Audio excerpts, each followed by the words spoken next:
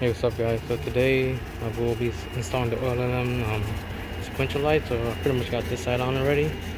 And dude freaking look dope. Went with the right choice. So this is pretty much the OLM uh, Evolution tail lights. This is what I chose I went with the red base with the white LED bar.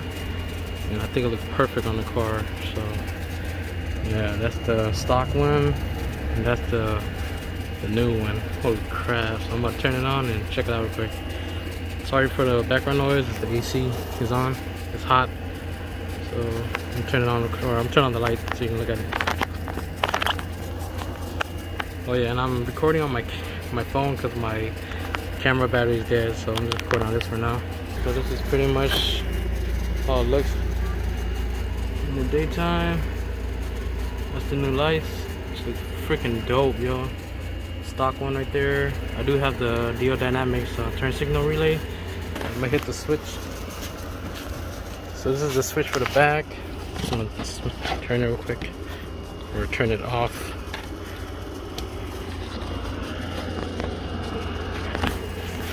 So that be pretty much um, when it's solid, or that's the full sequential if it goes all the way. But yeah. That's pretty much a solid turn signal when you want it solid. But I want, I'm gonna do the sequential way, so I'm gonna turn back on. But yeah, this is the stock one. That's how it looks. I'm gonna put in reverse real quick, so I'm gonna show you that. Alright. So this is pretty much reverse, full. I can't really show you guys braking because I got no place to mount my phone. And um, had no one to brake for me, so yeah, that's pretty much stock right there.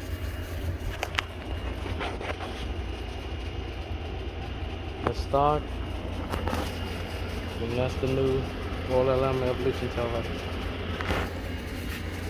So I'm pretty much gonna do the other one and I'll show you the whole thing. Alright, so I pretty much got both sides put in. This is pretty much the outcome. Oh my god. Yeah, this thing, it's the right choice. I made the right choice. yeah, hopefully you guys like this. That's pretty much it for the for the new pretty much update on the car.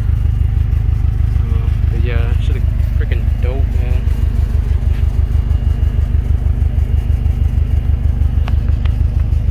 That's pretty much it.